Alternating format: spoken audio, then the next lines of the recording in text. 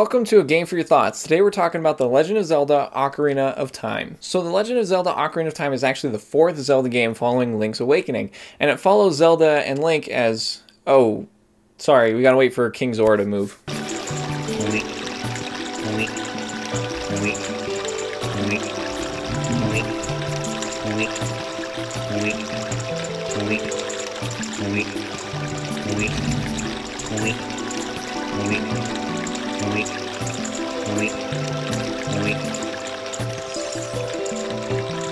Okay, now that's over, we can continue. So Zelda Ocarina of Time was released back in 1998 for the Nintendo 64 and was a huge success. It was the first 3D Zelda game and one of the biggest releases for the Nintendo 64 at the time. So the story for Ocarina of Time follows a boy from the Kokiri Forest named...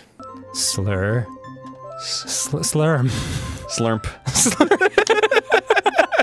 Yay. Whoever you want to name him, really. He can be he can be so many different things, but I named him Link for simplicity's sake, and we'll call him Link for this thing. But anyways, so Link is a boy in the Kokiri Forest, and he gets chosen by the Deku Tree to have a fairy named Navi, and Link has a destiny to go and save Hyrule, so he has to figure out what that is. So he goes and saves the Deku Tree from an evil spirit, and then the Deku Tree instructs him to go visit Zelda at Hyrule Castle, so you have to travel all the way across Hyrule Field to the Hyrule Castle where you meet Zelda, and Zelda's like, hey, I had this weird dream about this guy and it doesn't look so good, so we're gonna have to stop this guy. And it leads on to this epic quest of epicness to save the future, Hyrule, and just the world itself from the evil Ganondorf. At this point, this sounds like a kind of traditional Zelda story. Like this seems kind of normal, but uh, for the time, this was new. This was different. Storytelling like this hadn't really been present in a Zelda game. The first few Zelda games were very basic in their storytelling, and Link uh, Ocarina of Time it just really takes it to the next level here. It just has this very grand and epic story that has a very good beginning, middle, and end. A Link to the Past definitely started this and gave a good solid foundation for Ocarina of Time to work off of, and I thought Ocarina of Time did a fantastic job. But here, there's always things happening. There's cool and new interesting characters. There's very interesting and specific events that happen that are actually pretty memorable. There's lots of really cool moments that happen, and you just come across a lot of really cool and interesting things across your journey. Cool side quests and main characters you've come across, fun and interesting weird things just happening on the side that lead to some cool and fun world building, and it's fantastically done, and it's just really enjoyable the entire time through. A Link to the Past did a lot for Zelda games in terms of storytelling. The first two Zelda games are very basic, where A Link to the Past added a little bit more, but Ocarina of Time definitely takes what A Link to the Past did with the storytelling and the lore and just takes it to the next level. It adds more in sort of the world building, the storytelling, just the overall lore. It's just far more interesting and very well done for what we had seen. The storytelling here is just fantastic, and it's a really great fantasy adventure that you go on. I love it all. It's just so much fun. Just like I said, the characters you come across and the events, and it uses the time travel plot device really well. There's definitely a few moments where this is used spectacularly. I don't really want to spoil any, but also at the same time, this game's like 20 something years old, so it's like if you don't already know, then you you're not gonna know but also i don't know. There's like a cool thing with like a windmill and this guy's super frustrated because it's always like it's spinning too fast and he's like Grr, this boy came here seven years ago and ruined the windmill and he's like here's the song you play and he teaches you the song. Then you go back in time and then you show up and you play the song and it starts the windmill up and it creates this cool kind of time loop thing. It's things like that that are really interesting that i kind of actually wish there was more of but when they are used it's super cool super fun and super interesting. In the end the story of this adventure is just really well done. I really liked my time with the story of ocarina of time as it's just so much fun.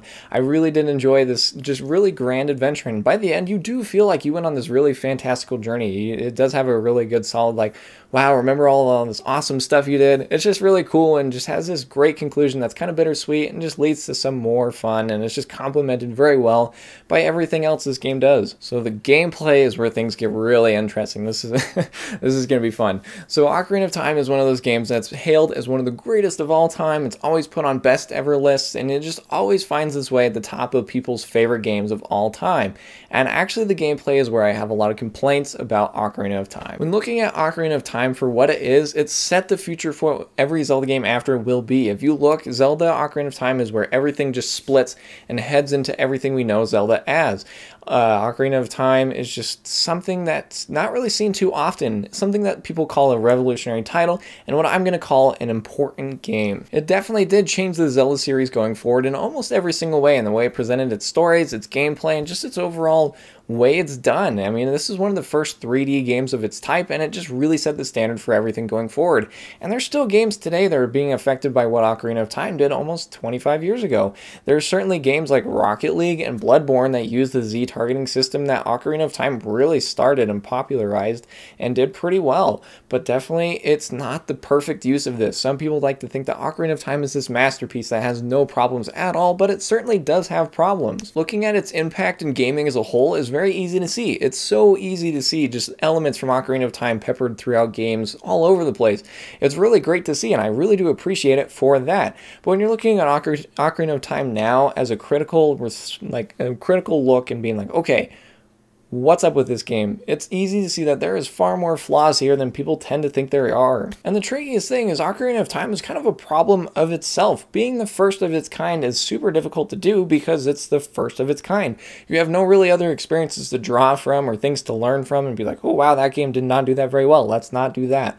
Ocarina of Time really didn't have that because this is the first of its kind. It really is one of the first 3D adventure games that uses Z targeting and just the way that it's all presented. It's really one of the first of its kind. So it's hard to learn from other experiences. So other games learn from Ocarina of Time, and that's why I think it earns the title of an important game and not the best game of all time, because the best game of all time implies that it's perfect in every way, shape, and form and still holds up like that today, where I think that's very not true. I think it's an important game because it takes everything that it did and other games learn from it in a positive way. Not to ruin Ocarina of Time by saying like that game is terrible because it didn't do this right the first try.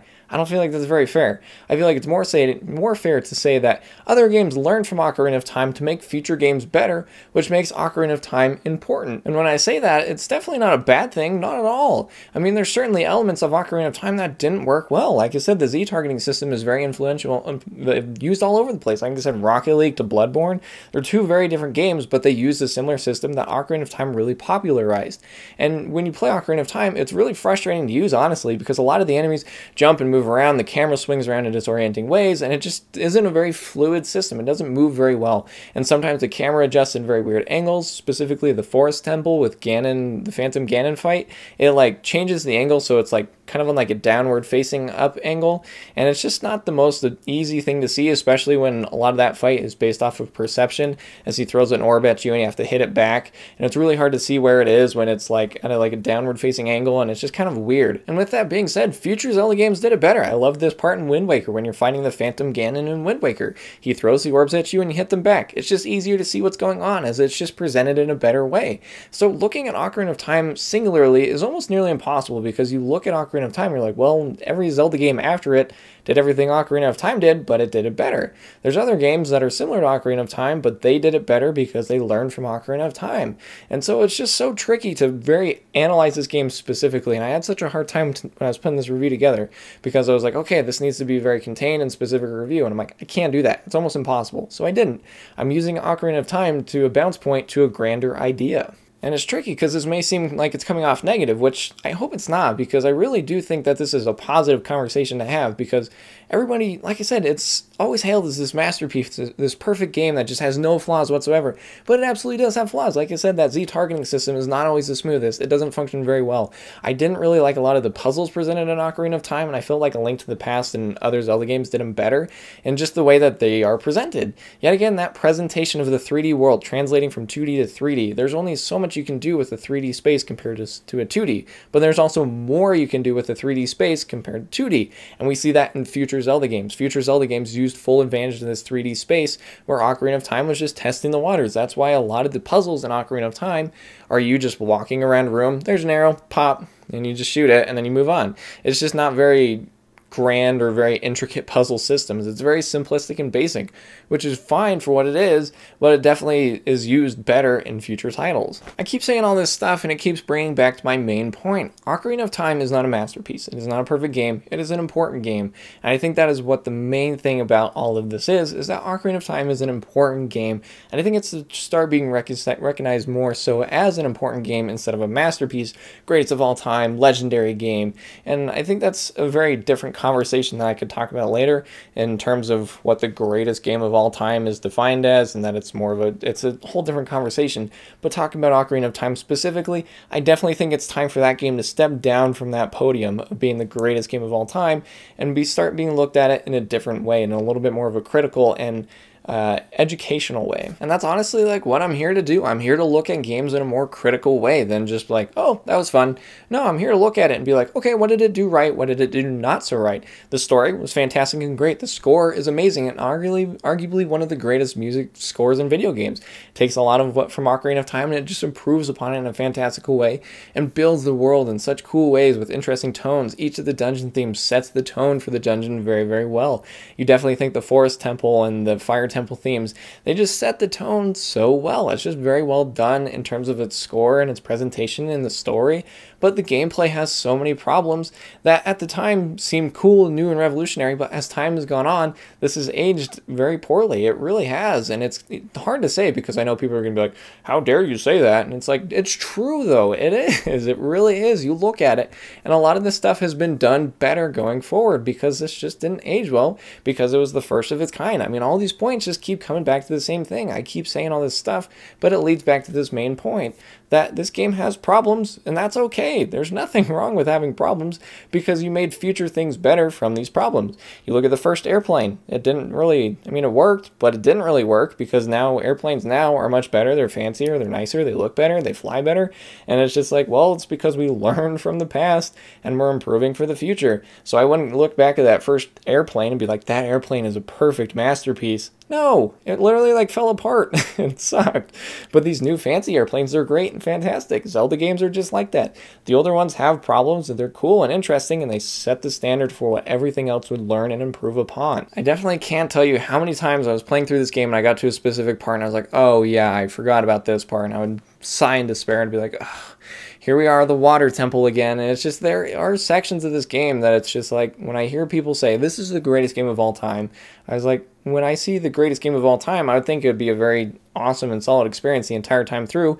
Instead of, oh, I don't like the water temple. Oh, I really didn't like the part with the Gerudo stealth section. That was really lame. Oh, i really didn't like that one boss fight. That wasn't super fun. Oh man walking across hyrule field over and over is such a bore. It's like well that's a reason why the future zelda games are don't have those problems. There's really not a whole lot of zelda games. Like i think of wind waker as my favorite zelda game and i don't think oh i really love wind waker except for i really didn't like all that i didn't like that and i didn't it's just like it doesn't really make sense to me and i definitely think that's a good point to make is if like okay if it's such a greatest game of all time why is there all these sections that are so disliked? It just doesn't make sense to me. I definitely feel like it's too late to say this but i do feel like this review is becoming me just saying the same thing over and over coming back to the main point but i do feel like it's an important thing to say that ocarina of time does have problems and it should not be hailed as the greatest game of all time. The greatest game of all time is something that should fluctuate and change and if ocarina of time is not fluctuating and changing with that that just doesn't feel fair and it just doesn't feel consistent and it doesn't feel educational. I definitely think that there is so much to learn from Ocarina of Time and I think that's fantastic. But I definitely think I'm saying to you, step down from that pedestal. Don't say it's the greatest game of all time. Start saying it's the most important game of all time. The term greatest game of all time gets thrown around too much, and especially with Ocarina of Time being involved. It just is too much, and I think it's time for that to stop. I think it's time for us to learn from it, and move on and pass that torch on to other games. Be like, wow, this game is the greatest game of all time because Ocarina of Time did this first and it learned from that. And I don't think that instantly makes it, oh, well, this game's not the greatest game of all time. Ocarina of Time is because this game exists because of this. And it just doesn't feel doesn't feel right. So with all this being said, I hope you understand where I'm coming from, and I'm sorry if I said a lot of very mean things about your favorite game of all time, but hopefully you're able to open up your mind a little bit and see what I'm trying to say here, because I feel like it's an important point that does need to be made. And there's certainly other people out there who've made the same point. I know this isn't a new revolutionary thing that nobody's ever said before, but I think it's an important thing that I feel like I need to say to you, my audience, because maybe you've never heard that before. Maybe you're like, oh, interesting. This guy does make a good. And you're like, wow, screw that guy. He doesn't like my game. It's like, all right, fair enough. But if you do want to hear more of this topic, I'd actually direct you to go check out a video called Sequelitis by Egoraptor. I think it's a really good video that kind of takes a little bit of what I said and just in a different way. He approaches it in a different way. And that's kind of weird to say because he made that video a while ago and I'm making this video now. But I do think it's a good video that I definitely think you should check out if you kind of want to see a little bit more of this topic and explored in a different way and with a different point too. He does definitely make a different point, which I do appreciate. So go and check it out. But in the end, I will definitely say Ocarina of Time is a game that I respect. I respect it a lot because it has a great story and a great score, and the gameplay does have problems, but it did change a lot going forward, and I respect it for that. So should you play Ocarina of Time? Sure. If you've never played it, give it a try. If you've played it before, play it again. If you like this game, awesome. If you don't like this game, that's also cool too. Nothing wrong with that. So let me know what you think about Legend of Zelda Ocarina of Time down in the comments below. And if you want to see more of me and you want to hit like, subscribe, and the bell to get notified every time I post a new video, that would be awesome. And if you want to see more of me, I'm over on Twitch at twitch.tv slash thoughts. I'm streaming there all the time. I would love to see you there. Thanks again for watching the video. I hope you have an awesome day. And don't forget that the key to success is succeeding. And we'll see you guys next time on A Game for Your Thoughts.